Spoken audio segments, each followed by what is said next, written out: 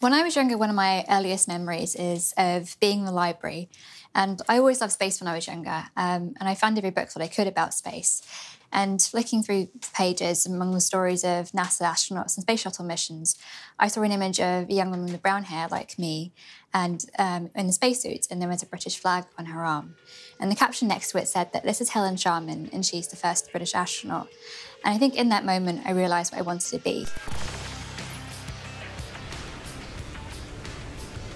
I really had to believe in myself and also persuade other people around me, persuade my parents and teachers that a career in space is actually feasible and attainable and it's something that I could do. I was lucky to have people around me, my parents and my teachers, that really encouraged me um, to, to kind of tinker with things and to learn about technology. And my dad is an engineer and he helped me to do things like take apart the TV. Um, I learned to program the VCR when I was younger.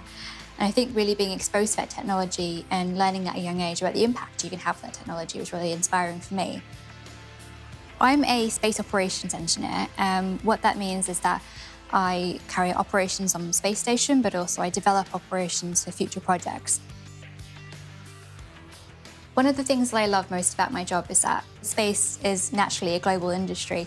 We get to work with people from around the world, and you really need that diversity and creativity to solve the really hard problems that we have in the world today.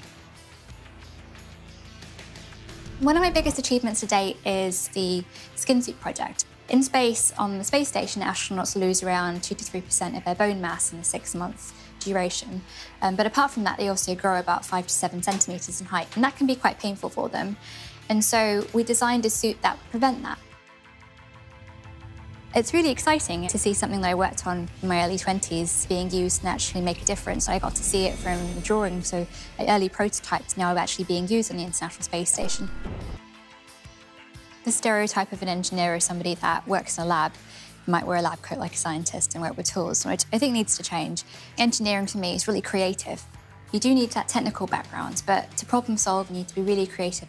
A lot of people grow up wanting to make a difference, but there seems to be a disconnect between wanting to make a difference in the world and knowing that the way to do that is a career in engineering.